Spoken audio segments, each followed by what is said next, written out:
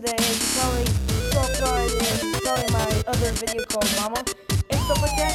So yeah, so it's just fun and stuff like that.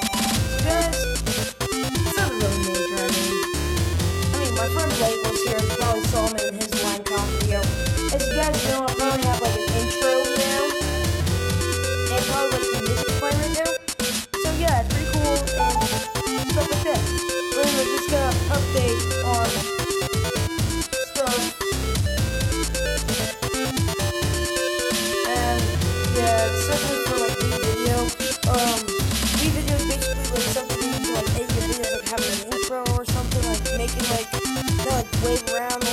like one time it's like it switches like to an episode, not like this, but